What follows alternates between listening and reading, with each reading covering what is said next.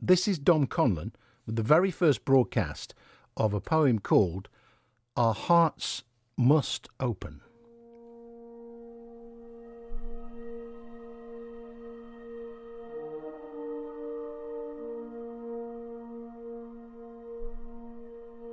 So this is new.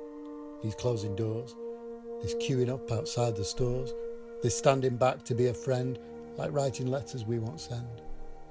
But send them still, just to the heart. Find ways to bond though we're apart. Find ways to say that we're still here to share with friends a virtual beer. Still looking out for you, it's true. But thinking now of what to do when doors unlock with days unfurled, of how to make a better world.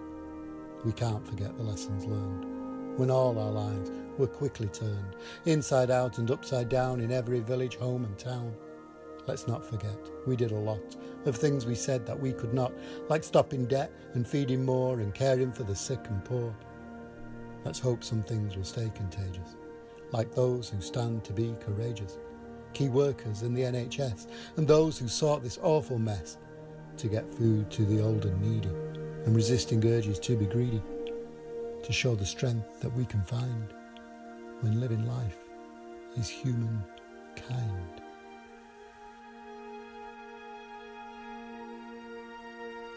That is lovely, isn't it? First play for Dom Conlon, Our Hearts Must Open. A special poem he wrote just for us at BBC Radio Lancashire, and more importantly, for you.